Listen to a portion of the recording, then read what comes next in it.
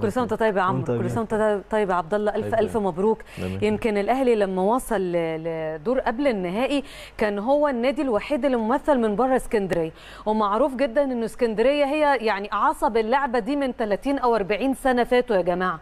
فإنه الأهلي النهارده يحقق الفوز المستحق ده وعن جدارة نظرا للظروف اللي حضراتكم يمكن أغلبنا ما يعرفهاش قبل الفاصل وحكوها الكباتن فده شيء كبير جدا جدا جدا وأكيد يمثل حاجة كبيرة بالنسبة لكم أنتم كفرق ناشئين ومتصاعدين لسه للفريق الأول. كلمني عبد الله عن الإحساس ده وانت ليك لقطة هعرضها لك كمان شوية كنت لسه بحكي معاك.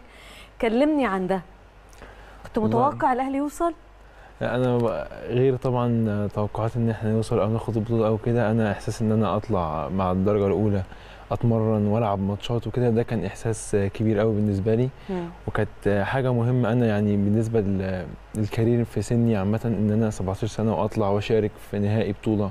مع الدرجة الأولى. حتى لو ما لعبتش ده كان بالنسبة لي حاجة كبيرة قوي فطبعا إن أنا أوصل نهائي وناخد البطولة ده كان حاجة كبيرة قوي قوي بالنسبة لي وفرحة مش مش طبيعية طبعاً.